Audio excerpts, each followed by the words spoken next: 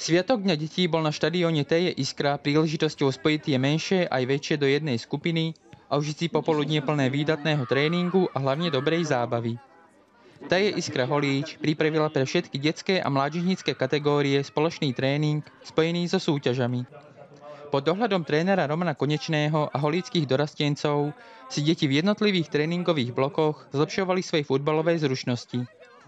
Minulý rok sa nám podarilo dúfam, že odštartovať túto tradíciu, kedy na naše deti nemyslíme len počas futbalového roka, ale aj tento deň, ktorý patrí im a nie len u nás, ale na celom svete. Tak ako minulý rok, aj tento rok bolo vidno, že deti si nič nedarujú. Skutočne išli do toho naplno a je vidno, že mnohí i ten dres prepotili nielen od toho slnka, ale tým výkonom. Tréning si plnými rúškami užívali aj mladší a starší žiaci do 13 rokov a ich o dva roky starší kolegovia. Tí sa pred pár dňami vrátili z medzinárodného turnaja vo francúzskom mestečku Týr. Súčasťou tohto výnimočného 7-dňového výletu bola aj návšteva Paríža či Barcelony, spojená s prehliadkou svetoznámych významných pamiatok a futbalových štadiónov, Park Princov či Camp Nou. Žiaci je Iskra si z tejto cesty odniesli nielen množstvo pohárov a ocenení, ale hlavne veľa zážitkov, na ktoré si budú určite pamätať do konca života. Dominik, ty si jeden z tých, ktorého výkony boli najobetavejšie. Čo hovoríš na tie rôzne tvoje zákroky v bráne, ktoré si absolvoval? To už e, je, to už ma naučili trenéri, či už spoluhráči, to už je náležitosť týmu, ktorí ma to naučili a ďakujem tomu, že som tak dobrý kvôli našemu týmu a kvôli našim trenérom. Takže Michal, teba som tam videl ako úspešného strelca, proste strelca, ktorý keď cíti bránu, tak tam jednoducho musí vystreliť. Pamätáš si ten tvoj gól po tej rohovej akcii? Áno a bola to ráno jak zdieľa. Áno, áno, ocenili to aj, aj e, fanúšci, ktorí tam okolo boli. Mám taký pocit, že ťa, mám taký pocit, že ťa aj obrali o tričko. Je to pravda? Áno, je.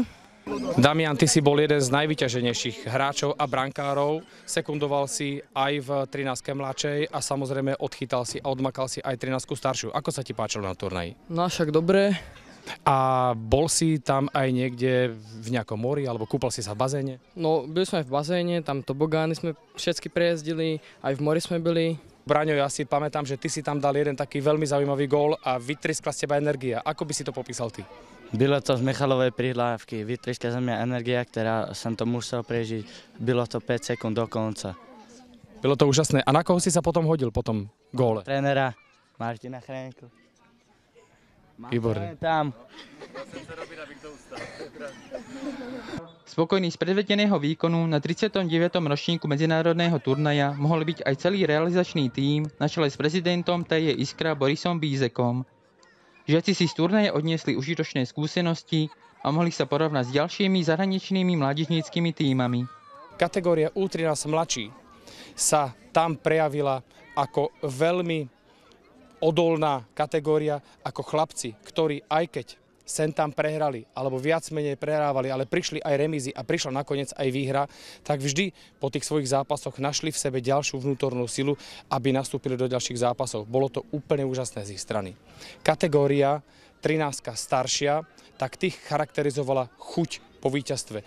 Chuť ísť ďalej, doslova tí chlapci išli a cítili to, že s jedným aj s druhým, tretím a ďalším zápasom, ako vyhrávali jeden za druhým, tak eh, to ocenenie nakoniec môže prísť. Áno, kategória U13 starší svojej základnej skupine ako jediná na tomto turnaji vyhrala všetky zápasy. Vyhrala všetky zápasy. Bohužiaľ o postup do, do štvrťfinále náš penaltový rozstrel, ktorý sme mali, bol v náš neprospech. Nič sa nedeje, pokračujeme ďalej kategória U15, chalani z U15, tak tých zdobil kolektívny duch. Bola to neskutočná sila, s akou sa zomkli títo chalani a snažili sa odolávať všetkým na tejto medzinárodnej scéne. Chcem veľmi pekne poďakovať každému jednému chlapcovi, ktorý reprezentoval naše mesto a náš klub. Chcem veľmi pekne poďakovať trénerom, ktorí ich viedli a realizačnému týmu, bez ktorých by sme sa jednoducho nezaobišli. Ďakujem vám veľmi pekne. Aj prostredníctvom tohto výletu sa potvrdilo, že futbal je príležitosťou spoznávať svet či budovať nové priateľstvá.